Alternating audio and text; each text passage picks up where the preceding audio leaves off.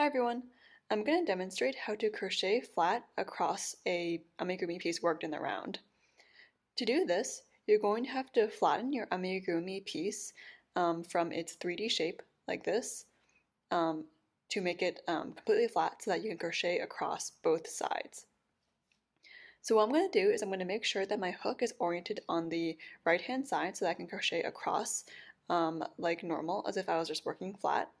And then instead of just crocheting into the next stitch, I'm going to actually insert it through um, the first stitch in the front um, side of the piece and also the first stitch in the back side. So I'm just going to go across and just find the first single crochet stitch that I can get my hook into.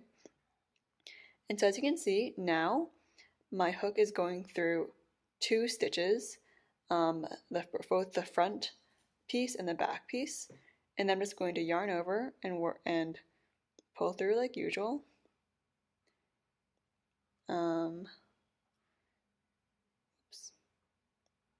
And then I'm just going to finish off a single crochet.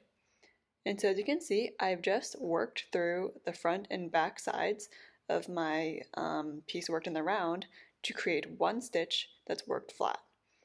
And then I'm just going to continue by inserting my hook into the next single crochet stitch in the front and the next one in the back.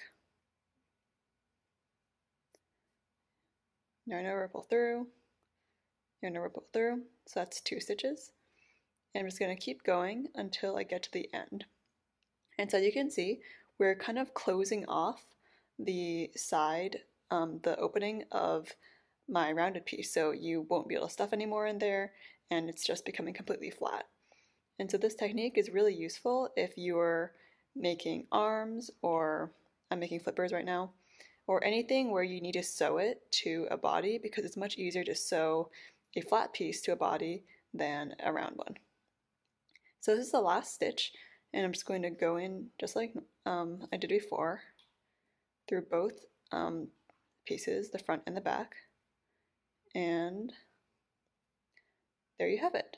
So now you see I've turned my 3D shape into a 2D shape and the only the opening is completely sealed with um, these stitches that I worked flat across. Um, now you can just finish off like normal and um, sew your amigurumi piece to the body. Thank you so much for watching. I hope this helped.